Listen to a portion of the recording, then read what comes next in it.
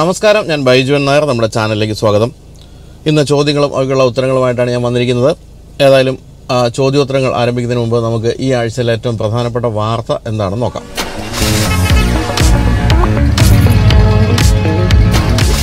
നമ്മുടെ ഏറ്റവും ഇഷ്ടപ്പെട്ട വാഹനങ്ങളിലൊന്നായിരുന്നു സ്കോഡ റാപ്പിഡ്. ഒരു തികഞ്ഞ സെഡാൻ എന്നാണ് വിളിക്കേണ്ടത്. എല്ലാം തികഞ്ഞ സെഡാൻ അതായത് നല്ല ബിൽ ക്വാളിറ്റിയും നല്ല അത്യാവശ്യം വേണ്ട വലിപ്പവും നല്ല എഞ്ചിനും പലതരത്തിലുള്ള ട്രാൻസ്മിഷൻ ഓപ്ഷൻസും അങ്ങനെ എല്ലാം ഉണ്ടായിരുന്നൊരു വാഹനമായിരുന്നു. ധാരാളം സ്കോഡ റാപ്പിഡുകൾ ഇപ്പോഴും ഓടിക്കൊണ്ടിരിക്കുന്നുണ്ട്. പുതിയതുപോലെ ഓടിക്കൊണ്ടിരിക്കുന്നുണ്ട്. അപ്പോൾ ഈ ആഴ്ചയിലെ പ്രധാനപ്പെട്ട വാഹന വാർത്ത അല്ലെങ്കിൽ വാഹന സന്തോഷ വാർത്ത എന്ന് വേണമെങ്കിൽ വിളിക്കാവുന്നത് സ്കോഡ റാപ്പിഡിന്റെ ഒരു കൺവേർട്ടബിൾ നിർമ്മിക്കപ്പെട്ടു എന്നുള്ള കാര്യമാണ്. കൺവേർട്ടബിൾ അല്ലെങ്കിൽ കാബ്രിയോലെ എന്നാണ് നമ്മൾ വിളിക്കേണ്ടത്. അതായത് മേൽഭാഗം ഇല്ലാത്ത ഒരു മോഡൽ എന്നാണ് പറയേണ്ടത്. നമുക്കെല്ലാം വളരെ ഇഷ്ടപ്പെട്ട മോഡലുകളാണ് കൺവേർട്ടബിളുകൾ അല്ലെങ്കിൽ ക്യാബ്രിയോലകൾ സാധാരണഗതിയിൽ ഇത്തരത്തിലുള്ള എല്ലാ വാഹനങ്ങളും ക്യാബ്രിയോലകളായാലും കൺവേർട്ടബിൾ ആയാലും എല്ലാം നിർമ്മിക്കപ്പെടുന്ന വിദേശ രാജ്യങ്ങളിലാണ്. ഇപ്പോൾ സ്കോഡയുടെ കാര്യം നോക്കുകയാണെങ്കിൽ സ്കോഡയും ഒരു ചെക്ക് റിപ്പബ്ലിക്കിലെ കമ്പനിയാണ്. അപ്പോൾ നമ്മൾ വിചാരിക്കും അങ്ങനെ നിർമ്മിക്കപ്പെട്ടെങ്കിൽ അത് ചെക്ക് റിപ്പബ്ലിക്കിൽ അല്ലെങ്കിൽ യൂറോപ്പിൽ എവിടെയെങ്കിലും ആയിരിക്കുമെന്നും അല്ല. അത് നിർമ്മിക്കപ്പെട്ടത് ഇന്ത്യയിലാണെന്നുള്ളതാണ് ഈ ആഴ്ചയിലെ സന്തോഷ വാഹന വാർത്ത എന്ന് പറയാവുന്നത്. കുറച്ച് കൗമാരക്കാരായ കുട്ടികളാണ് നിർമ്മിച്ചതെന്നുള്ളതാണ് മറ്റൊരു കൗതുകകരമായ കാര്യം. അപ്പോൾ രണ്ട് കൗതുകമായി. ഒന്ന് ഇന്ത്യയിലാണ് നിർമ്മിക്കുന്നത് രണ്ട് കൗമാരക്കാരായ കുട്ടികളാണ് നിർമ്മിക്കുന്നത് നിർമ്മിച്ചത് എന്നുള്ള കാര്യമാണ്. സ്കോഡ അക്കാഡമി എന്ന പേരിൽ സ്കോഡ ഗ്രൂപ്പും അതുപോലെ തന്നെ ഫോക്സ് വാഗണും ചേർന്നിട്ട് ഇന്ത്യയിലെ മെക്കട്രോണിക്സ് പഠിപ്പിക്കുന്ന ഒരു കോളേജ് നടത്തുന്നുണ്ട്. ഒരു ഇൻസ്റ്റിറ്റ്യൂഷനാണത്. അവിടുത്തെ കുട്ടികൾ പാഠ്യപദ്ധതിയുടെ ഭാഗമായിട്ട് സ്റ്റുഡന്റ് കാർ പ്രോജക്റ്റിൽ നിർമ്മിച്ച കാറാണിത്. അപ്പോൾ ഇത് കഴിഞ്ഞ ആഴ്ചയാണ് ഇതിന്റെ നിർമ്മാണം കഴിഞ്ഞത്. എന്നിട്ട് വേണ്ട മീഡിയകളെയൊക്കെ വിളിച്ചത് കാണിക്കുകയുണ്ടായി. അതിമനോഹരമാണ്. കാണാനൊക്കെ വളരെ ഭംഗിയുണ്ട്. നമ്മൾ കണ്ടുവരുന്ന സ്കോഡ റാപ്പിഡിനേക്കാളും കുറച്ചുകൂടെ വ്യത്യസ്തമാണ്. മുൻഭാഗത്തൊക്കെ എൽ ഇ ഡി മനോഹരമായ എൽ ഇ ഡി ലൈറ്റൊക്കെ കൊടുത്തിട്ടുണ്ട്. അതുപോലെ താഴെ ഉടനീളം അതായത് ഡോർ പാഡിന്റെ അല്പം മുകളിലായിട്ട് നീളത്തിൽ ഒരു എൽ ഇ ഡി ലൈറ്റ് കൊടുത്തിട്ടുണ്ട്. അത്തരത്തിലുള്ള കാര്യങ്ങളൊക്കെ ഉണ്ട് അപ്പോൾ ഈ കുട്ടികളെ നിർമ്മിക്കുന്ന സമയത്ത് പറഞ്ഞവർ ഏറ്റവും അധികം ബുദ്ധിമുട്ടിയത് ഇതിന്റെ സീറ്റ് ബെൽറ്റ് ഘടിപ്പിക്കുക എന്നുള്ള ഒരു ഒരു പ്രശ്നമായിരുന്നു. അതായത് പിൻഭാഗത്തിരിക്കുന്നവർക്ക് സീറ്റ് ബെൽറ്റ് പിടിപ്പിക്കണമെങ്കിൽ എവിടെയാണ് ഈ സീറ്റ് ബെൽറ്റ് പിടിപ്പിക്കുക എന്നുള്ളതായിരുന്നു കുട്ടികളെ ഏറ്റവും അധികം ചിന്തിപ്പിച്ച കാര്യം. അവസാനം അവർ അതിന് അവർ തന്നെ ഒരു പോംവഴി കണ്ടെത്തി സീറ്റിൽ തന്നെ സീറ്റ് ബെൽറ്റ് കൊടുത്തു. അത് വളരെ മനോഹരമായിട്ട് വളരെ ഗംഭീരമായിട്ട് ചെയ്തിട്ടുണ്ട്. അസൂബി സ്റ്റുഡന്റ് പ്രോജക്റ്റ് അസൂബി സ്റ്റുഡന്റ് കാർ പ്രോജക്റ്റ് എന്നാണ് ഇവർ ഈ ഒരു ഇന്റേർണലി ഈ ഒരു കാർ പ്രോജക്റ്റ് അറിയുന്നത്. ഇന്ത്യയിൽ ഈ അക്കാദമി തുടങ്ങിയതിന് ശേഷമുള്ള ആദ്യത്തെ സ്റ്റുഡന്റ് പ്രോജക്റ്റാണിത് എന്നാൽ ചെക്ക് റിപ്പബ്ലിക്കിലെ സ്കോഡയുടെ ജന്മസ്ഥലമായ ചെക്ക് റിപ്പബ്ലിക്കിലെ അക്കാഡമിയിൽ അവിടെ ഉണ്ടെങ്കിൽ അക്കാഡമി അതിൽ രണ്ടായിരത്തി പതിനാല് മുതൽ കുട്ടികൾ ഇത്തരത്തിലുള്ള വാഹനങ്ങൾ നിർമ്മിക്കുന്നുണ്ട്. സൈക്കിളിൽ പോലും പരീക്ഷണങ്ങൾ നടത്തിയ കാര്യങ്ങളൊക്കെ അവിടെ ഞാൻ ഈയിടെ വായിക്കുണ്ടായി പക്ഷേ ഇന്ത്യയിൽ ആദ്യമായിട്ടാണ് ഇങ്ങനെ പാഠ്യപദ്ധതിയുടെ ഭാഗമായിട്ട് കുട്ടികൾ തന്നെ ഒരു വാഹനം നിർമ്മിക്കുന്നത്. എന്തായാലും കുട്ടികൾ നിർമ്മിച്ച വാഹനം വെറുമൊരു വാഹനമല്ല ക്യാബ്രിയോല അല്ലെങ്കിൽ കൺവേർട്ടബിൾ ആണ് എന്നുള്ളതാണ് ഏറ്റവും രസകരമായ ഒരു കാര്യം. എന്തായാലും ഈ അക്കാഡമിയെ പറ്റി ഇപ്പോൾ സ്കോഡയുടെ ഇന്ത്യയുടെ ഹെഡ് പറഞ്ഞത് ഇവിടെ തിയറി മാത്രമല്ല പ്രാക്ടിക്കലും കൂടി ഉണ്ട് എന്ന് കൃത്യമായിട്ട് കാണിച്ചു തരുന്നൊരു പ്രോജക്റ്റാണ് ഇതെന്നുള്ള കാര്യമാണ്. അതായത് വാഹനം എങ്ങനെ നിർമ്മിക്കാമെന്ന് വെറുതെ അങ്ങ് പഠിപ്പിക്കുകയല്ല. അത് ആ വാഹനം നിർമ്മിച്ച് തന്നെ നിങ്ങൾ പഠിച്ചോളൂ എന്ന് പറഞ്ഞിട്ട് കുട്ടികളെ ഏൽപ്പിച്ചിരിക്കുകയാണ്. അതിന്റെ ഭാഗമായിട്ടാണ് കുട്ടികൾ ഇപ്പോൾ മനോഹരമായ ക്യാബ്രിയോലെ നിർമ്മിച്ചിരിക്കുന്നത്. ഈ അക്കാഡമിയിൽ എങ്ങനെയാണ് പഠിക്കേണ്ട പഠിക്കാൻ പറ്റുന്നതെന്ന് ചോദിക്കുകയാണെങ്കിൽ പത്താം ക്ലാസ് കഴിഞ്ഞ കുട്ടികൾക്കാണ് മൂന്നര വർഷം നീളുന്ന അക്കാഡമിയുടെ dual vocational training in mechatronics എന്ന് പറയുന്ന വിഷയത്തിൽ അഡ്മിഷൻ നൽകുന്നത്. അപ്പോൾ മനസ്സിലാക്കേണ്ട കാര്യം അത് തന്നെയാണ്. ഞാൻ പറഞ്ഞില്ല കൗമാരക്കാരാണ് കൗമാരക്കാരാണ് നിർമ്മിച്ചതെന്ന് ഞാൻ പറഞ്ഞല്ലോ. അപ്പം പത്താം ക്ലാസ് കഴിയുമ്പോൾ ഒരു പതിനഞ്ച് വയസ്സ്. പതിനഞ്ച് വയസ്സ് കഴിഞ്ഞ് മൂന്നര വർഷം പഠിക്കുമ്പോൾ പതിനെട്ടര വയസ്സേ ആകുന്നുള്ളൂ പതിനെട്ടര വയസ്സിനുള്ളിലാണ് കുട്ടികൾ പെൺകുട്ടികളും ആൺകുട്ടികളും ചേർന്ന് ഈ ഒരു മനോഹരമായ ക്യാബ്രിയോല നിർമ്മിച്ചത്. അപ്പോൾ സ്കോഡ റാപ്പിഡിന്റെ റൂഫ് എടുത്ത് കളഞ്ഞിട്ട് എ പില്ലർ ബി പില്ലർ എല്ലാം എടുത്ത് കളഞ്ഞിട്ടാണ് മനോഹരമായ രീതിയിൽ കൺവേർട്ടബിളാക്കി മാറ്റിയത്. പിന്നെ ഞാൻ പറഞ്ഞില്ല ഏറ്റവും കഷ്ടപ്പെട്ടത് ഈ സീറ്റ് ബെൽറ്റ് ഘടിപ്പിക്കുന്ന കാര്യം ആണെന്ന് പറഞ്ഞല്ലോ. എന്തായാലും ഈ ക്യാബ്രിയോല വിപണിയിലെത്താനുള്ള സാധ്യതയൊന്നും തീരെ ഇല്ല എന്നാണ് അറിയുന്നത്. കാരണം ഇത് കുട്ടികളുടെ ഒരു പ്രോജക്റ്റിന്റെ ഭാഗമായിട്ട് ചെയ്തു എന്നല്ലാതെ അതങ്ങനെ വിപണിയിലെത്താനുള്ള സാധ്യതയൊന്നും തീരെയില്ല പക്ഷേ ഇന്ത്യയിലെ കുട്ടികൾ എത്രത്തോളം പ്രഗത്ഭരാണ് എന്നാണ് ഇത് മനസ്സിലാക്കി തരുന്നതെന്നാണ് സ്കോഡയുടെ ഹെഡ് ഇപ്പോൾ പറഞ്ഞിരിക്കുന്നത്. അതായത് സ്കോഡയുടെ ചെക്ക് റിപ്പബ്ലിക്കിലെ അക്കാഡമിയിൽ പോലും കുട്ടികൾ ഇത്രയും മനോഹരമായ ഇത്രയും ഗംഭീരമായ ഒരു പ്രോജക്റ്റ് നടപ്പിലാക്കിയിട്ടില്ല എന്നാണ് അദ്ദേഹം പറഞ്ഞത്. അപ്പോൾ ഇന്ത്യയിലെ കുട്ടികളുടെ ആ ഒരു മികവ് തീർച്ചയായിട്ടും അംഗീകരിക്കുന്നുണ്ടെന്നാണ് പറഞ്ഞത്. അപ്പോൾ ഈ അക്കാഡമിയിൽ പഠിച്ച കുട്ടികളിൽ ഏറ്റവും മിടുക്കരായിട്ടുള്ള ആൾക്കാരെയൊക്കെ സ്കോഡ ഗ്രൂപ്പിലേക്ക് അല്ലെങ്കിൽ ഫോക്സ് വൺ സ്കോഡ ഓടി. ഇത് മൂന്നുകൂടെ ചേരുന്നതാണ് സ്കോഡ ഗ്രൂപ്പ് ആ ഫോക്സ് വാൺ ഗ്രൂപ്പ് എന്നാണ് അറിയപ്പെടുന്നത്. അപ്പോൾ ഫോക്സ് വാൺ ഗ്രൂപ്പിലേക്ക് അവർ തിരഞ്ഞെടുക്കുന്നുണ്ട്. പിന്നീടുള്ള പഠിത്തം അതായത് കൂടുതൽ പഠിക്കണമെങ്കിൽ അവരെ ഗ്രൂപ്പ് തന്നെയാണ് പഠിപ്പിക്കുന്നതൊക്കെ. അപ്പോൾ ആ തരത്തിൽ താല്പര്യമുള്ള കുട്ടികൾക്ക് അപേക്ഷിക്കാവുന്ന ഒരു അക്കാഡമി കൂടിയാണ്. അതിന്റെ ഡീറ്റെയിൽസൊക്കെ അവരുടെ സൈറ്റിലൊക്കെ ഉണ്ടാകും. എന്തായാലും അഭിമാനിക്കാവുന്ന കാര്യമാണ്. ലോകത്ത് എവിടെയും കൊണ്ടുവന്നതാ കൗമാരക്കാരായ ഇന്ത്യൻ കുട്ടികൾ നിർമ്മിച്ച ഒരു ക്യാബ്രിയോലെ അല്ലെങ്കിൽ കൺവേർട്ടബിൾ എന്ന് പറഞ്ഞാൽ അഭിമാനത്തോട് കാണിക്കാൻ പറ്റുന്ന ഒരു ഗംഭീര പ്രോജക്റ്റാണ് ഇപ്പോൾ നമ്മൾ കണ്ടു കഴിഞ്ഞത്. ആ കുട്ടികൾക്ക് എല്ലാവിധ ആശംസകളും നേരുന്നു. അപ്പോൾ നമുക്കിനി ആദ്യത്തെ ചോദ്യത്തിലേക്ക് കിടക്കുകയാണെങ്കിൽ അത് അതുൽ പ്രഭാകർ ആണ് അയച്ചിരിക്കുന്നത്. സിറ്റി ഡ്രൈവിനും ലോങ് ഡ്രൈവുകൾക്കും പറ്റുന്ന ഒരു പെട്രോൾ എസ് യു വേണം. ഞാനൊരു ഡ്രൈവിംഗ് എൻത്യൂസിയാസ്റ്റ് ആണ്. ഫാമിലിയുമായിട്ട് ലോങ് ഡ്രൈവുകൾ പോകാറുണ്ട്. പവർഫുൾ ആയിരിക്കണം ഫീച്ചർ ലോഡഡ് ആയിരിക്കണം എസ് യു വി ആണ് വേണ്ടത്. ഇരുപത്തഞ്ച് ലക്ഷം രൂപ വരെയാണ് ഓൺ റോഡ് വില എന്നാണ് അദ്ദേഹം പറഞ്ഞിരിക്കുന്നത്. ഇരുപത്തഞ്ച് ലക്ഷം രൂപയ്ക്ക് ധാരാളം ഓപ്ഷൻസ് ഉള്ളൊരു കാലമാണ്. ഉദാഹരണം പറഞ്ഞാൽ Skoda Kushaq Volkswagen Taigun Kia Seltos Hyundai Creta Tata Harrier Maruti Grand Vitara Toyota Urban Cruiser Jeep Compass അങ്ങനെ പല ഓപ്ഷൻസ് ഉണ്ട്. ഇതിന്റെ ചില വാഹനങ്ങൾ നമുക്ക് ഒഴിവാക്കാം. കാരണം വെച്ചാൽ ചിലതിൽ ഡീസൽ എഞ്ചിനേ ഉള്ളൂ. ഇപ്പോൾ ടാറ്റ ഹാരിയറിൽ ഇപ്പോൾ ഇതുവരെ ഡീസൽ എഞ്ചിനേ ഉള്ളൂ. പക്ഷേ പെട്രോൾ എഞ്ചിൻ വരാൻ പോകുന്നത് കേൾക്കുന്നു. എനിക്ക് ഓപ്ഷനായിട്ട് തോന്നിയിട്ട് നല്ലൊരു ഓപ്ഷനായിട്ട് തോന്നിയൊരു കാര്യം ജീപ്പ് കോമ്പസ് ആണ്. പക്ഷേ ജീപ്പ് കോമ്പസ് ഇരുപത്തഞ്ച് ലക്ഷം രൂപയ്ക്ക് ഉള്ളിൽ നിൽക്കില്ല. അതിന്റെ ഒരു ഓട്ടോമാറ്റിക് ഞാൻ സജസ്റ്റ് ചെയ്യാൻ നിൽക്കുകയാണെങ്കിൽ കുറച്ചുകൂടി ഇരുപത്തിയെട്ടോ മറ്റോ ആകുമെന്ന് തോന്നുന്നു ഓൺ റോഡ്. അല്ലെങ്കിൽ അതൊരു ഗംഭീര ഓപ്ഷനായിരുന്നു.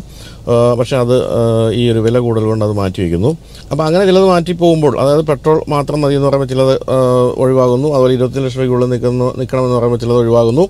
പിന്നെ ഡ്രൈവിംഗ് എന്തൂസിയാസ്റ്റ് ആയതുകൊണ്ട് തന്നെ ഹരമുള്ള ഒരു ഡ്രൈവിംഗ് സമ്മാനിക്കുന്ന വാഹനമായിരിക്കും എന്ന് പറയുമ്പോൾ ചിലത് ഒഴിവാകുന്നു. ഫീച്ചർ ലോഡഡ് ആയിരിക്കും എന്ന് പറയുമ്പോൾ ചിലത് ഒഴിവാകുന്നു. അങ്ങനെ എല്ലാം ഒഴിവായി ഒഴിവായി അവസാനം നമ്മൾ ഫിൽട്ടർ ചെയ്ത് വരുമ്പോഴത്തേക്ക് ഏറ്റവും മികച്ചൊരു ഓപ്ഷനായിട്ട് എനിക്ക് സജസ്റ്റ് ചെയ്യാനുള്ളത് സ്കോഡ കുഷാക്കാണ് Skoda കുഷാക്കിന്റെ one point five litre petrol engine ഉള്ള ഡി സി ടി ഉള്ള മോഡൽ ഗംഭീരമായ സാധനമാണ്. ഡി സി ടി എന്ന് പറഞ്ഞാൽ ഡി എസ് ജി ആണ് അതിലുള്ളത്. ഡ്യുവൽ ക്ലച്ച് ട്രാൻസ്മിഷൻ ഫോക്സ് വാണ്ട വിഖ്യാതമായ ഡി എസ് ജി എന്ന് പറയുന്ന ഗിയർ ഷിഫ്റ്റ് സംവിധാനം ഉള്ള ആ ഒരു വാഹനം. വളരെ എന്താ ഡ്രൈവിംഗ് ആണ് തീർച്ചയായിട്ടും. അതുലിന് ഇഷ്ടപ്പെടും. പത്തൊമ്പത് പോയിന്റ് ഏഴ് കിലോമീറ്ററാണ് അതിന് മൈലേജ് കമ്പനി പറയുന്നത്. പക്ഷേ അത് ഈ പറഞ്ഞ കാലു കൊടുത്താൽ അത്രയൊന്നും കിട്ടില്ല. മര്യാദയ്ക്കൊക്കെ പോയാൽ കിട്ടും. മര്യാദയ്ക്ക് പോകാനാണെങ്കിൽ എന്തിനാണ് ഇത് വാങ്ങിക്കുന്ന ഒരു ചോദ്യം? രണ്ടാമതൊരു ചോദ്യം അങ്ങനെ കൂടെ ഉണ്ടാകും. എന്തായാലും മര്യാദയ്ക്കൊക്കെ ഓടിച്ചു പോവുകയാണല്ലോ എപ്പോഴും നല്ലത്. തന്നെയല്ല ഇപ്പം മറ്റേ എ ഐ ക്യാമറ ഉണ്ടല്ലോ. അത് നമ്മളെ നമ്മുടെ ബെഡ്റൂമിന്റെ അകത്തേക്ക് ഒരു എ ഐ ക്യാമറ വരുന്നുണ്ടെന്നാണ് കേൾക്കുന്നത്. അപ്പോൾ അങ്ങനെ ഒരു വളരെ ശ്രദ്ധിച്ച് വേണം കാര്യങ്ങളൊക്കെ ചെയ്യാൻ.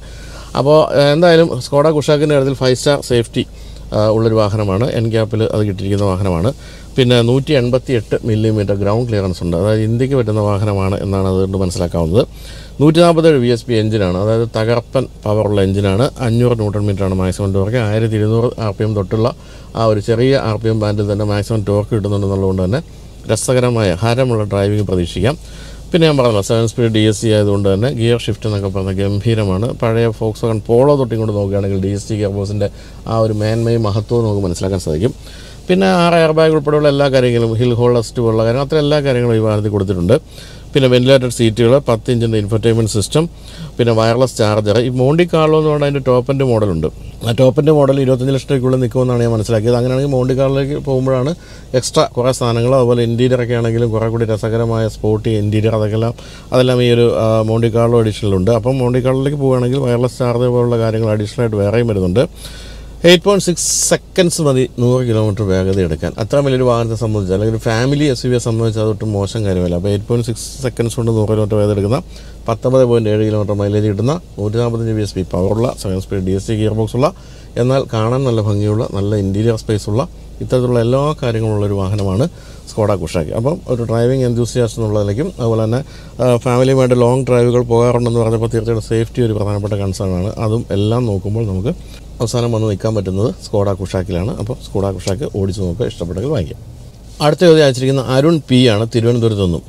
ഞാനൊരു Kia Sonet D C T വാങ്ങി വാങ്ങാനിരിക്കുകയാണ്. എന്നാൽ കസ്റ്റമർ റിവ്യൂസ് നോക്കുമ്പോൾ ഹീറ്റിംഗ് ഇഷ്യൂസ് ഉള്ളതായി കാണുന്നു. എനിക്ക് സിറ്റി ഡ്രൈവാണ് അധികവും ഉണ്ടാവുക. അപ്പോൾ ഇതൊരു നല്ല ഓപ്ഷനാണോ അല്ലെങ്കിൽ പതിനഞ്ച് പതിനെട്ട് ലക്ഷം രൂപയ്ക്ക് ഏതാണ് വേറെ ഓപ്ഷൻ ഉള്ളതെന്നാണ് ചോദിച്ചിരിക്കുന്നത്. നമ്മൾ ഇതിനെപ്പറ്റി നേരത്തെ പറഞ്ഞിട്ടുണ്ട്. ഈ ഡി സി ടി എന്ന് പറയുന്ന ഡ്യൂൾ ക്ലച്ച് ട്രാൻസ്മിഷൻ ഉള്ള വാഹനങ്ങളുടെ കാര്യത്തിൽ ഈ ഹീറ്റ് ഇഷ്യൂസ് പലരും പറയുന്നുണ്ട്. പക്ഷേ തിരുവനന്തപുരത്ത് ജീവിക്കുന്ന ആരെന്നെ സംബന്ധിച്ച് എനിക്ക് തോന്നുന്നില്ല അതൊരു ഇഷ്യൂ ആകുമെന്ന് കാരണം അത്രയധികം തിരക്കുള്ള റോഡുകളിൽ ബമ്പർ ടു ബമ്പർ ട്രാഫിക്കിൽ മാത്രമാണ് ഈ ഡി സി ടി വല്ലപ്പോഴൊക്കെയാണ് ഇതൊന്ന് ഹീറ്റ് ആകുന്നതും. അപ്പോൾ ആ സമയത്ത് ഈ മീറ്റർ കൺസോളിൽ തെളിയും. ഒന്ന് തണുപ്പിച്ചിട്ട് പോ ചേട്ടാന്ന് പറയും. അപ്പോൾ തണുപ്പിച്ചിട്ട് പത്ത് മിനിറ്റ് ഒന്ന് സൈഡിലേക്ക് മാറ്റിയിടും. തണുപ്പിച്ചിട്ട് പോകണമെന്നാണ് പറയുന്നത്. ഇത് പക്ഷേ ഇപ്പം ഞാൻ ഈ ഡി സി ടി ഉപയോഗിക്കുന്ന പലരോടും ചോദിച്ചപ്പോൾ ഇതിന്റെ അകത്തൊരു തൊണ്ണൂറ്റൊമ്പത് ശതമാനം പേർക്ക് ഇന്നും വരെ അനുഭവപ്പെട്ടിട്ടില്ല എന്നുള്ള സത്യമാണ്. ഇപ്പോൾ ഈ കൊച്ചിയിൽ ഇപ്പോൾ അടുത്ത കാലത്ത് ഭയങ്കരമായിട്ട് ബ്ലോക്ക് ആയിട്ടുണ്ട്. അപ്പോൾ ആ സമയത്ത് ചിലപ്പോൾ കൊച്ചിയിൽ അനുഭവപ്പെടാനുള്ള സാധ്യതയുണ്ട്. പക്ഷേ തിരുവനന്തപുരം പോലെ സ്ഥലത്ത് മര്യാദക്കുള്ള റോഡുകളും മര്യാദയ്ക്ക് വാഹനം ഓടിക്കുന്നവരൊക്കെ എനിക്ക് പൊതുവെ തോന്നിയിരിക്കുന്നുണ്ടോ തിരുവനന്തപുരം തിരുവനന്തപുരംകാർ കൊച്ചിക്കാരങ്ങനല്ല. കൊച്ചിക്കാർ എവിടെയോ പോവുകയാണ് വളരെ പെട്ടെന്ന് എല്ലാവർക്കും എവിടെയോ എത്തണം? എവിടെയെന്ന് എനിക്ക് അറിഞ്ഞൂടെ. എന്തായാലും അങ്ങനെ പോകുന്ന ഒരു സ്ഥലത്ത് ഈ പറഞ്ഞ പോലെ ബമ്പർ ടു ബമ്പർ ട്രാഫിക്കിനുള്ള സാധ്യത എപ്പോഴും ഉണ്ട്. എപ്പോഴും കാണുന്നുമുണ്ട്. അപ്പോൾ അങ്ങനെയുള്ള സ്ഥലങ്ങളിൽ ഇത് ഹീറ്റ് ഇഷ്യൂ ഉണ്ടാകാനുള്ള സാധ്യത ഉണ്ട് എന്നല്ലാതെ ഈ ഒരു തിരുവനന്തപുരത്ത് താമസിക്കുന്ന ഒരാൾക്ക് അത് എപ്പോഴും തിരുവനന്തപുരത്ത് ഓടിക്കുന്ന ഒരാൾക്ക് അതിന്റെ സാധ്യതയില്ല. തന്നെയുമല്ല ഹൈവേയിലൊന്നും ഈ ഒരു ഇഷ്യൂ ഉണ്ടാകുന്നതേ ഇല്ല എപ്പോഴും ബ്രേക്ക് ഓട്ടി ബ്രേക്ക് ഓട്ടി ബ്രേക്ക് ഓട്ടി പോകുമ്പോഴാണ് ഈ ഒരു ഹീറ്റ് ഇഷ്യൂ ഹീറ്റിംഗ് ഇഷ്യൂ ഉണ്ടാകുന്നത്. ഉണ്ടായാലും ഗുരുതരമായ സംഭവമല്ല. ഒരു പത്ത് മിനിറ്റ് പോലും വേണ്ട സൈഡിലേക്കൊന്ന് മാറ്റിയിട്ട് ഇരുന്ന് കഴിഞ്ഞാൽ അതങ്ങ് തണുക്കുകയും ഓടിച്ചു പോവുകയും ചെയ്യാം. അപ്പോൾ പിന്നെ എന്തുകൊണ്ടാണ് നമ്മൾ ഡി സി ടി എപ്പോഴും അങ്ങനെയൊക്കെ ഉണ്ടായിട്ട് സജസ്റ്റ് ചെയ്യുന്നത് ചോദിച്ചാൽ അത് അതിന്റെ ഒരു രസകരമായ ഡ്രൈവിംഗ് രീതിയുണ്ട്. ഡ്യുവൽ ക്ലച്ച് എന്ന് പറഞ്ഞാൽ ഒരു ക്ലച്ച് എപ്പോഴും ഡിസൻഗേജ് ആയിരിക്കുന്നതുകൊണ്ട് തന്നെ ഒരിക്കലും നമുക്ക് ഗിയർ ഷിഫ്റ്റിന്റെതായ യാതൊരു പ്രശ്നങ്ങളും അറിയില്ല. സിൽക്കി സ്മൂത്തായിട്ട് അങ്ങനെ ഒഴുകി പോകുന്ന രീതിയിലുള്ള ഒരു അനുഭവം കിട്ടും. അപ്പോൾ നമ്മൾ അത് മാറ്റി വേറെ സജസ്റ്റ് ചെയ്യുകയാണെങ്കിൽ ഡി സി ടിയുടെ ആ സുഖം കിട്ടില്ല എന്ന് മനസ്സിലാക്കുക. പക്ഷേ സജസ്റ്റ് ചെയ്യാൻ പറ്റുന്ന ഒരു വാഹനം എന്ന് പറയുന്നത് ഈ ഒരു പതിനെട്ട് ലക്ഷം രൂപയ്ക്ക് നിൽക്കുന്നത് അർബൻ ക്രൂസർ ഉണ്ട്. Toyota Urban Cruiser Maruti Grand Vitara ഉണ്ട് മാരുതി ബ്രസയുണ്ട് പക്ഷേ ഇതിന്റെയൊക്കെ പ്രശ്നം ഇതല്ല എ ടി ആണ്. എ ടി എന്ന് വെച്ചാൽ token converter type automatic gear box ആണ് കൊടുത്തിരിക്കുന്നത്. അത് ഇത്രയും സ്മൂത്ത് അല്ല എന്നുള്ളതാണ്. മോശമൊന്നുമില്ല. ഞാനിപ്പോൾ ഇരിക്കുന്നത് ഐ ടെൻ ഐ ടെന്നിലാണ് ഐ ടെന്നിൽ ഉള്ളത് ടോക്കൺ കൺവേർട്ടറാണ് മൈലേജ് ഒരു അല്പം കുറവായിരിക്കും എപ്പോഴും ടോക്കൺ കൺവേർട്ടർ ടൈപ്പ് ഓട്ടോമാറ്റിക് ഗിയർ ബോക്സിന് ഡി സി ടി അപേക്ഷിച്ച്. തന്നെയുമല്ല കുറച്ചൊരു പരുക്കൻ ആണെന്ന് പറയാം. ഡി സി ടിയുടെ ഒരു സ്മൂത്ത്നെസ് അതിനില്ല പക്ഷേ മോശമൊന്നുമില്ല. എങ്കിൽ പോലും ഇതെല്ലാം ഓട്ടോമാറ്റിക് ട്രാൻസ്മിഷൻ ടോർക്ക് കൺവേർട്ടർ ടൈപ്പാണ് അപ്പോൾ അപ്പോൾ നമ്മൾ ഡി സി ടിയുടെ ഈ ഒരു ഹീറ്റിംഗ് ഇഷ്യൂവിന്റെ പേരിൽ വേണ്ടാന്ന് വെച്ചിട്ട് നമ്മൾ എ ടിയിലേക്ക് മാറുമ്പോൾ ആ ഒരു സ്മൂത്ത്നെസ് കിട്ടില്ല എന്ന് മാത്രമേ ഉള്ളൂ. പക്ഷേ അങ്ങനെ സ്ഥിരമായി ബ്ലോക്കിൽ കിടക്കുന്ന ഒരാളൊന്നും അല്ലെങ്കിൽ അത് ഡി സി ടിയിൽ വലിയ കാര്യം ആക്കേണ്ടതില്ല എന്നാണ് ഞാൻ പറയുന്നത്. പിന്നെ ഈ ഒരു സെഗ്മെന്റിലൊക്കെ വരാവുന്ന മറ്റൊരു വാഹനം എന്ന് പറയുന്നത് അതായത് സോണറ്റിന്റെ ഒക്കെ സെഗ്മെന്റിൽ വരാവുന്ന മറ്റൊരു വാഹനം എന്ന് പറയുന്നത് നിസാൻ മാഗ്നറ്റ് ആണ്. അതിൽ സി വി ടി ആണ്. അത് ഓടിക്കാൻ രസമുള്ളൊരു വാഹനമാണ്. ഞാനിപ്പോൾ അടുത്ത കാലത്ത് എന്റെ ഫ്രണ്ടിന്റെ മാഗ്നറ്റ് കുറച്ച് കുറേ ദൂരം ഓടിച്ചപ്പോഴത്തേക്ക് എനിക്ക് വളരെ ഇഷ്ടപ്പെട്ടു. നല്ല സ്മൂത്തായിട്ട് ഓടിച്ചു പോകാം. പക്ഷേ മാഗ്നറ്റും സി വി ടി എന്ന് പറയുന്നതിന് ഒരു ഒരു റബ്ബർ ബാൻഡ് എഫക്റ്റ് ഉണ്ടെന്നാണ് പറയുന്നത്. ഒരിക്കലും ഞാൻ പറഞ്ഞു വരുന്നത് ഡി സി ടിയുടെ സ്മൂത്ത്നെസ് സി വി ടിക്കും കിട്ടില്ല എന്നുള്ള കാര്യമാണ്. അപ്പോൾ ഡി സി ടി തന്നെ വേണം ഡ്യുവൽ ക്ലച്ച് ട്രാൻസ്മിഷൻ വേണം എന്ന് ആഗ്രഹിക്കുന്നുണ്ടെങ്കിൽ ഈ ഹീറ്റിംഗ് ഇഷ്യൂ വലിയ പ്രശ്നമായി കണക്കാക്കേണ്ടതില്ല എന്നാണ് ഞാൻ പറയുന്നത്. ജീവിക്കുന്നത് തിരുവനന്തപുരത്തായതുകൊണ്ട്. പക്ഷേ ബോംബെയിലോ ബാംഗ്ലൂരോ ജീവിക്കുന്ന ഒരാളായിരുന്നെങ്കിൽ ഒരുപക്ഷെ ഞാനത് ഉപദേശിക്കില്ലായിരുന്നു. തിരുവനന്തപുരത്ത് അത്രയും വലിയ പ്രശ്നങ്ങളൊന്നും ഇല്ലാത്ത സ്ഥിതിക്ക് ഒരിക്കലും എനിക്ക് തോന്നുന്നില്ല ഡി സി ടിയുടെ ഹീറ്റിംഗ് ഇഷ്യൂ ആരാണ് അനുഭവിക്കുമെന്നുള്ള കാര്യം. അപ്പോൾ അത് ആലോചിച്ച് തീരുമാനിക്കാം. പക്ഷേ ഒരു ഓട്ടോമാറ്റിക് തന്നെ മതി എന്നുണ്ടെങ്കിൽ മറ്റ് പല ഓപ്ഷൻസ് ഉണ്ട്. ഞാൻ ഈ പറഞ്ഞ ഏതെങ്കിലും ഓപ്ഷൻ തിരഞ്ഞെടുക്കാവുന്നേ ഉള്ളൂ. അടുത്തത് ശ്രീകുമാർ പി ആണ് ചോദ്യം വെച്ചിരിക്കുന്നത്. തൃശ്ശൂരിൽ നിന്നാണ്. ഞാനൊരു ബെലേനോ ആൽഫ ഓട്ടോമാറ്റിക് കാർ വാങ്ങി. അതിലൊരു ഡാഷ് ക്യാം വയ്ക്കാൻ താല്പര്യമുണ്ട്. നമ്മുടെ രാജ്യത്ത് ഡാഷ് ക്യാമറയ്ക്ക് നിയമസാധ്യതയുണ്ടോ എന്തെങ്കിലും അപകടം ഉണ്ടായാൽ അതിലെ വീഡിയോ തെളിവായി സ്വീകരിക്കുമോ?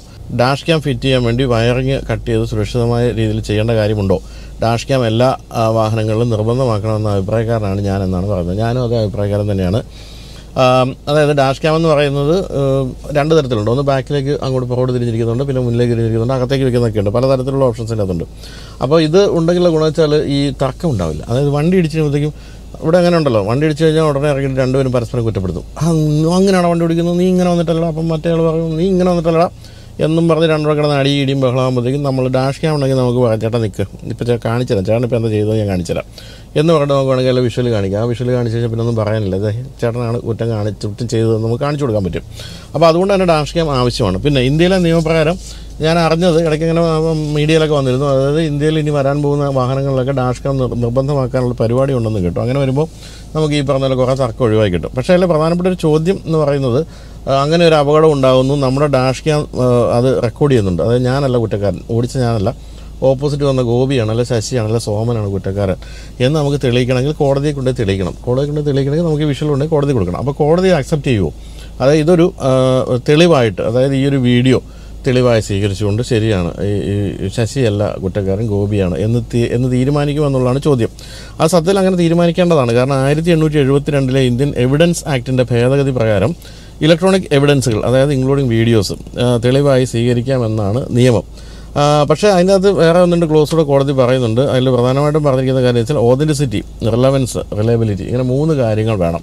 അതായത് നമ്മൾ ഈ കൊടുത്തിരിക്കുന്ന വീഡിയോയുടെ കാര്യത്തിൽ അത് റിലവന്റ് ആയിരിക്കണം. ഈ ഒരു സംഭവമായിട്ട് ബന്ധപ്പെട്ട് റിലയബിലിറ്റി ഉണ്ടാകണം. പിന്നെ ഓതന്റിസിറ്റി ഉണ്ടാകണം. അതായത് ഇത് ഉടായ്പ തട്ടിപ്പ് വീഡിയോ ഒന്നും ആകരുത്. ഈ മൂന്ന് കാര്യങ്ങളും വളരെ കൃത്യമായിരിക്കണം. പിന്നെ വീഡിയോയിൽ കൃത്രിമമൊന്നും ചെയ്തിട്ടില്ല എന്ന് കോടതിക്ക് ബോധ്യപ്പെടുകയും വേണം. അല്ലെങ്കിൽ അത് നമ്മൾ തെളിയിക്കണം. അതായത് നമ്മളിത് കൃത്യമായിട്ട് ഉണ്ടാക്കിയല്ല എന്ന് എന്തായാലും ഒരു വാഹനം മുന്നിൽ കൂടെ പോകുന്നു വന്ന് ഇടിക്കുന്നു ഒന്നും ത്രീ ഡി ഗ്രാഫിക്സ് ഒന്നും വെച്ച് ചെയ്യാൻ നമ്മൾ ബാഹുബലിയുടെ സംവിധാനമൊന്നും അല്ലാത്തതുകൊണ്ട് തന്നെ കോടതിക്ക് മനസ്സിലാകും ഇത് നമ്മുടെ നമ്മൾ കൃത്രിമമൊന്നും കാണിച്ചല്ല എന്നുള്ളത് അപ്പോൾ അതുകൊണ്ട് തന്നെ ഇത്തരത്തിലുള്ള വീഡിയോകൾ തെളിവായിട്ട് സ്വീകരിക്കാമെന്ന് തന്നെയാണ് നിയമം എന്നാണ് പറയുന്നത്. പക്ഷേ എങ്കിലും പറഞ്ഞു വരുമ്പോൾ പറയേണ്ടത് ഇത്തരത്തിലുള്ള ഡാഷ് ക്യാം ഫുട്ടേജ് എന്ന് പറയുന്നത് തെളിവായിട്ട് സ്വീകരിക്കാമോ എന്നുള്ള കാര്യത്തിൽ തീരുമാനം എടുക്കേണ്ട ജഡ്ജിയാണ്. ജഡ്ജിക്ക് തീരുമാനം എടുക്കാവുന്ന ഒരു കാര്യമേ ഉള്ളൂ. അത് തെളിവായി സ്വീകരിക്കുന്നില്ല എന്ന് കോടതി തീരുമാനം തെളിവായി സ്വീകരിക്കാൻ പറ്റില്ല. പക്ഷേ എങ്കിൽ പോലും നമുക്ക് ഒരു വലിയ ഇഷ്യൂ ഉണ്ടാകുമ്പോൾ നമ്മളെ അടിക്കാൻ വരുമ്പോൾ പറയില്ല ചേട്ടാ നിൽക്ക് ഇതാണ് നിങ്ങളാണ് ചെയ്തത് കുറ്റം എന്ന് കാണിക്കാനെങ്കിലും ഡാഷ്ബോർഡ് തീർച്ചയായിട്ടും ഉപകരിക്കും എന്നുള്ള കാര്യത്തിൽ dashboard camera sorry dash cam camera.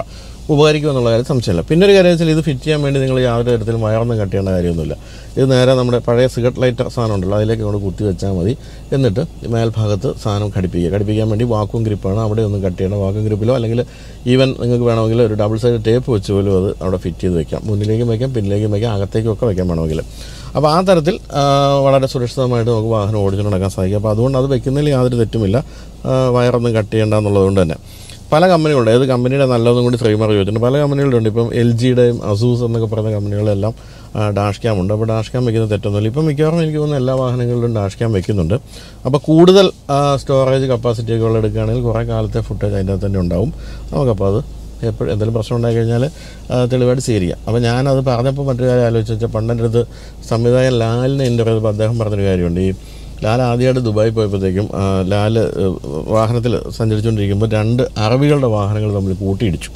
കൂട്ടിയിടിച്ചപ്പോൾ സാധാരണഗതിയിൽ ഇവിടുത്തെ സ്ഥിതി എന്താ? നമ്മൾ രണ്ട് വാഹനം കൂട്ടിയിടിച്ച് ഞാൻ ഈ പറഞ്ഞ വെളി ഇറങ്ങിയിട്ട് തന്തയ്ക്ക് വിളിയും ബഹളം ബഹളവും അടിപ്പിച്ച് ഇടിപ്പിച്ച് എല്ലാം ഇടിപ്പിച്ചെന്ന് പറഞ്ഞ് ബഹളത്തോട് ബഹളമായിരിക്കും. അപ്പം ലാൽ വിചാരിച്ചു ഇവിടെ എന്താ സംഭവിക്കാൻ പോകുന്നത് നോക്കിയേക്കാം. അപ്പം രണ്ട് അറബികൾ ഇടിച്ച വണ്ടികളിലെ രണ്ട് അറബികളും വെളിയിറങ്ങുന്നു അവർ അസ്സലാം വലൈക്കും അസ്സലാം എന്ന് പറയുന്നു. അപ്പം ലാൽ വിചാരിച്ചു എന്താല്ലേ? നമ്മുടെ നാട്ടിലാണ് എന്തൊരു ബഹളമായിരിക്കും? ഇവരുണ്ട് എത്ര മര്യാദയ്ക്ക് രണ്ടുപേരും തമ്മിൽ സംസാരിക്കുന്നത് പക്ഷേ അതിനുശേഷം അദ്ദേഹം പറഞ്ഞു വെച്ചാൽ പിന്നെ ഇവിടെ സംഭവിക്കുന്ന അതേ കാര്യങ്ങളാണ് പിന്നെ തെറിവിളിയോട് തെറിവിളിയും ബഹളവും അടിയൊക്കെ നടന്നു. പക്ഷേ ആദ്യം രണ്ടുപേരും ഇറങ്ങി അങ്ങോട്ടും ഇങ്ങോട്ടും അഭിവാദ്യം ചെയ്തതിന് ശേഷമാണ് ഈ തിര തുടങ്ങിയത്. അതേ ഉള്ളൂ വ്യത്യാസം. ഇവിടെ അഭിവാദ്യം എന്ന് തുടങ്ങുന്നു.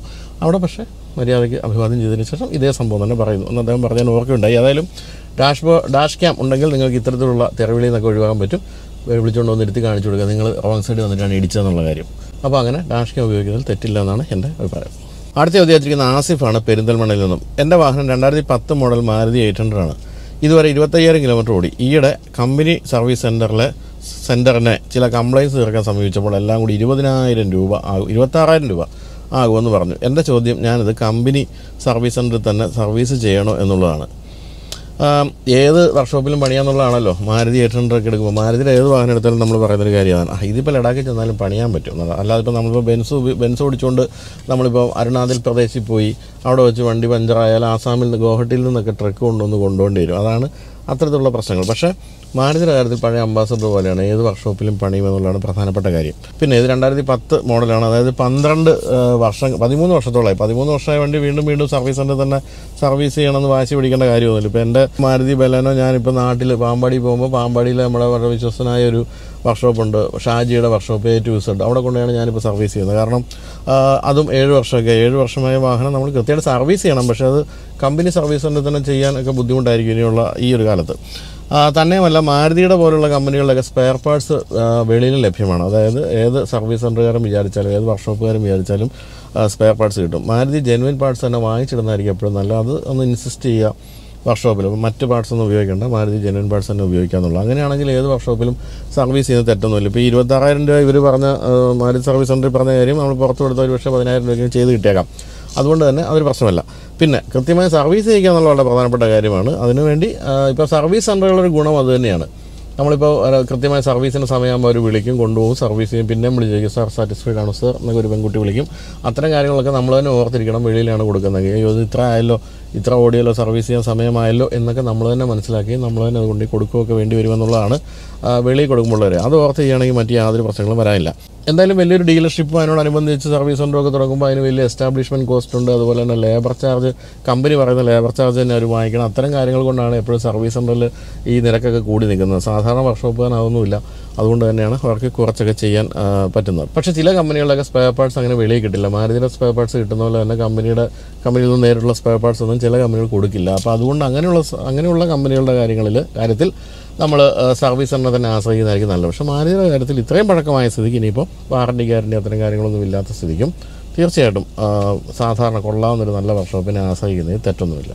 ഇനിയിപ്പോൾ നമുക്ക് നോക്കേണ്ടത് ഈ ആഴ്ചയിലെ വാഹന വാക്ക് എന്താണെന്നുള്ള കാര്യമാണ്.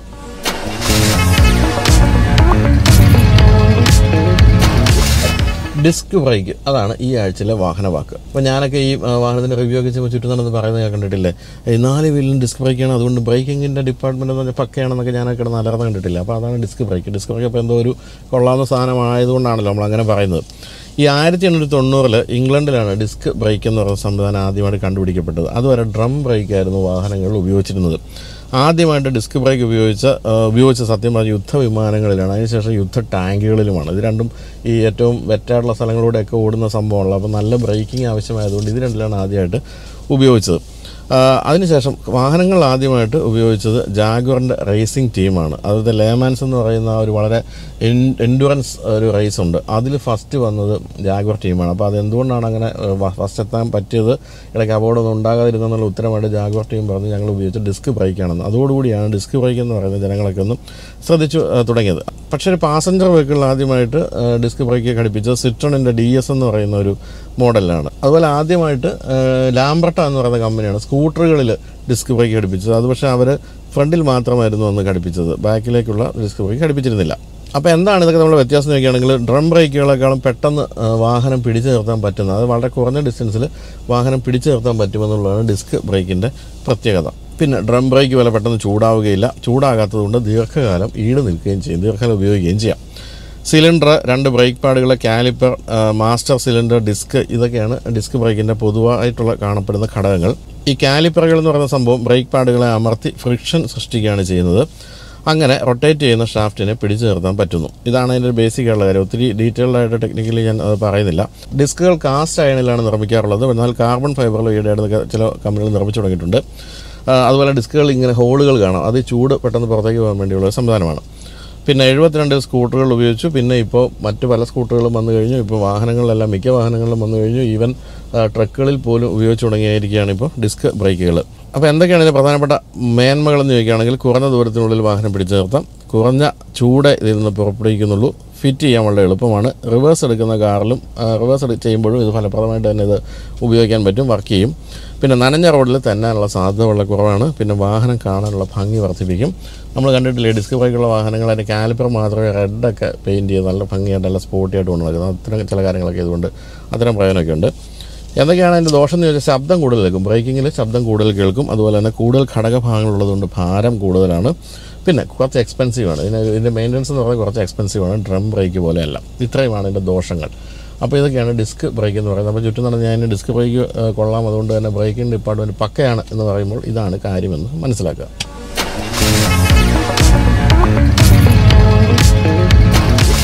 അപ്പോൾ ഇതൊക്കെയാണ് ഈ ആഴ്ചയിലെ ചോദ്യങ്ങളും ഉത്തരങ്ങളും. പിന്നെ നമ്മൾ എപ്പോഴും പറയുന്ന പോലെ പോപ്പുലർ ഹുണ്ടയെ പറ്റി പറയാറുണ്ട്. പോപ്പുലർ ഹുണ്ട ഇന്ത്യയിലെ ഏറ്റവും വലിയ ഹുണ്ടായ ഡീലർഷിപ്പാണ് കേരളത്തിൽ അങ്ങോളം ഇങ്ങോളം മുപ്പത്തി മൂന്ന് സെയിൽസ് സെന്റേഴ്സും മുപ്പത് സർവീസ് സെന്റേഴ്സും ഉണ്ട് പോപ്പുലർ ഹുണ്ടായിക്ക് നിങ്ങൾക്ക് ഏതെങ്കിലും ഹുണ്ടായ വാഹനം ഇപ്പോൾ ഏറ്റവും പുതിയ ഐണിക് ഫൈവ് ആയാലും അല്ലെങ്കിൽ ഏറ്റവും പുതിയ അൽക്കസാറിന്റെ ഒരു ഒരു one point five litre turbo പെട്രോളിനുള്ള മോഡലൊക്കെ വന്നിട്ടുണ്ട്. അത് അങ്ങനെ ഏതെങ്കിലും വാഹനം ഓടിച്ച് നോക്കണമെങ്കിൽ ഞാൻ ഈ കൊടുത്തിരിക്കുന്ന നമ്പറിൽ വിളിക്കാം. നിങ്ങളുടെ വീട്ടുമുറ്റത്ത് വാഹനം എത്തിച്ചേരും. എത്തിച്ചു തന്നിട്ട് നിങ്ങൾ ഇഷ്ടപ്പെട്ടു വാഹനം ബുക്ക് ചെയ്യാനാണ് തീരുമാനിക്കുന്നതെങ്കിൽ പറയുക. ബൈജു എന്നായിരുന്ന യൂട്യൂബ് ചാനൽ കണ്ടിട്ടാണ് ഞാൻ ഈ വിളിച്ചതും ബുക്ക് ചെയ്യുന്നതൊക്കെ. അങ്ങനെയാണ് നിങ്ങളെ കാത്തിരിക്കുന്ന സർപ്രൈസ് ഗിഫ്റ്റുകളും അതുപോലെ ലഭ്യമായിട്ടുള്ള എല്ലാ. ഡിസ്കൗണ്ടുകളും ആയിരിക്കും പിന്നെ നിങ്ങൾ എന്തെങ്കിലും പരാതികൾ ഹുണ്ടായെ പറ്റി പോപ്പുലർ ഹുണ്ടായെ പറ്റിയൊക്കെ ബോധിപ്പിക്കാനുണ്ടെങ്കിൽ നിങ്ങൾക്ക് നമ്പറിൽ വിളിക്കാം. തീർച്ചയായിട്ടും അതിന് പരിഹാരം ഉണ്ടാകും. അതുപോലെ എന്തെങ്കിലും അഭിനന്ദിക്കാനെങ്കിലും വിളിക്കാം. അഭിനന്ദനം കേൾക്കാൻ അവിടെ ആൾ അങ്ങ് തലക്കൽ ഇരിപ്പുണ്ട്. പിന്നെ എങ്ങനെയൊക്കെയാണ് ഈ ചോദ്യോത്തര പങ്ക്തിയിലേക്ക് ചോദ്യങ്ങൾ അയക്കേണ്ടതെന്ന് ചോദിച്ചാൽ രണ്ടു തരത്തിലേക്ക് ഒന്ന് Baiju Nair at Gmail dot com എന്ന ഇമെയിൽ ഐ ഡിയിലേക്ക് അയക്കാം. ബൈജുവൻ നായർ ഒഫീഷ്യൽ എന്ന ഫേസ്ബുക്ക് പേജിലേക്ക് അയക്കാം. ബൈജുവൻ നായർ എന്ന ഇൻസ്റ്റാഗ്രാം പേജിലേക്ക് അയക്കാം. കൂടാതെ ഈ വീഡിയോയുടെ താഴെ കമന്റുകളായിട്ട് ചോദ്യങ്ങൾ അയക്കാം. തിരഞ്ഞെടുത്ത ചോദ്യങ്ങൾക്ക് ഉത്തരം തരുന്നതായിരിക്കും. അപ്പോൾ എല്ലാവർക്കും ഈ ഒരു ചോദ്യോത്തര വീഡിയോ ഇഷ്ടപ്പെടുന്നുണ്ട് പ്രയോജനപ്പെടുന്നുണ്ട് എന്ന് കരുതുന്നു. നിങ്ങളുടെ സംശയങ്ങളൊക്കെ അയയ്ക്കുക.